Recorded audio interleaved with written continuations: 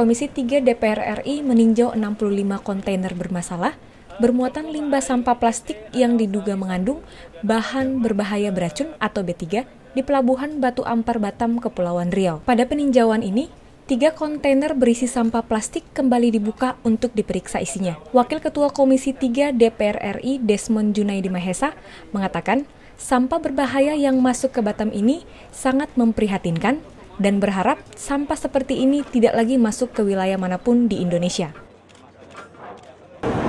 tongnya saja berisiko yang harus diamankan. Seperti bahan B3 kita. B3 kita itu kan harus diamankan. Pemusnahannya pun harus terukur. Tempatnya harus jelas. Dengan didatangkan tong-tong yang dulunya B3 diolah oleh industri yang tidak terukur persoalan pembakarannya berdampak apa pada para sekitar sesudah jadi barang yang bernilai ekonomis itu masih berbahaya atau tidak ini kan ada persoalan melihat koordinasi antar penegak hukum, Bia Cukai, KLH, dan kepolisian di bidang koordinasi mereka.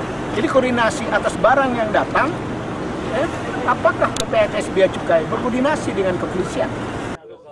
Selain melihat langsung kondisi kontainer di pelabuhan, Komisi 3 juga ingin mengetahui proses penanganan yang dilakukan oleh lembaga terkait termasuk di dalamnya koordinasi penyidik pegawai negeri sipil, Kementerian Lingkungan Hidup dan Kehutanan, Dinas Lingkungan Hidup Kota Batam, dan kantor Bea Cukai Batam.